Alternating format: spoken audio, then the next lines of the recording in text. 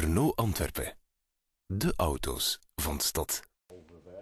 Het gemeentelijk havenbedrijf heeft een vergrijzingsprobleem. Er werken nu 1650 mensen, waaronder opvallend veel oudere werknemers. 44% van ons personeelsbestand is ouder dan 50.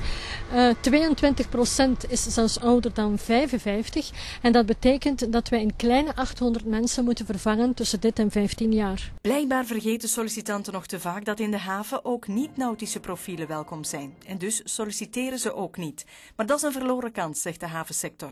Wij hebben uh, op heel korte termijn uh, heel wat vacatures in te vullen. En bovendien zijn die vacatures van die aard dat ze onder knelpuntberoepen uh, kunnen gecatalogeerd worden. Vooral de technische functies. En dat gaat van vaklui tot bachelors, tot industrieel ingenieur in de richting elektromechanica, milieu en bouw.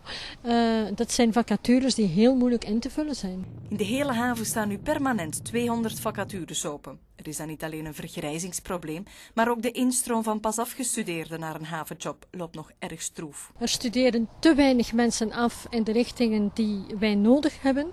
En van de mensen die eraf studeren zijn er te weinig mensen die kiezen voor de haven. En dit terwijl we de tweede grootste haven zijn van Europa en heel erg boeiende jobs aan te bieden hebben.